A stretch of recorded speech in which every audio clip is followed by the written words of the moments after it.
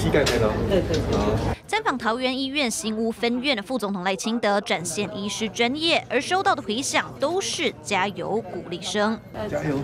总统当当选，动算动算。前一天才被民进党正式提名参战二零二四，隔一天国民党团就在立法院敲响选举战鼓，说赖清德可以马上上手，可以吗？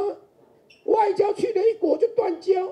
国安会议该坐在那里，没有坐在那里。就是总统蔡英文八号在脸书贴出的这张照片。国安会议上讨论紧急台海问题，唯独不见赖副总统身影，让绿营派系斗争再度浮上台面。连带赖清德的两岸政策也成为国民党锁定目标。任何的职务都不会改变他的志向跟立场，那就是台独的志向跟台独的立场。台湾可能就变战场了。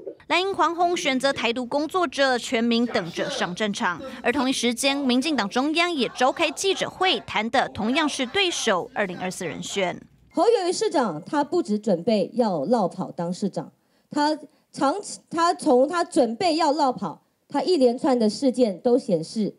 他更是公器私用的惯犯。民进党新北市议员开炮，侯友谊争议数不完，从黑金到侯侯 GPT，再到市府秒变进总。毕竟新北议会还没开议，市长就想落跑选总统。侯市长，请你好好上班，不要满脑子只想上场。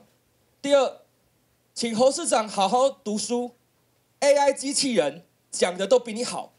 第三，请你好好做人。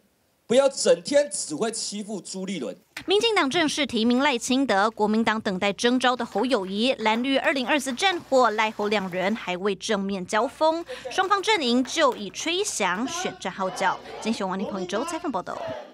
立刻下载静新闻 App，一手掌握新闻时事，尽善尽美，尽好新闻。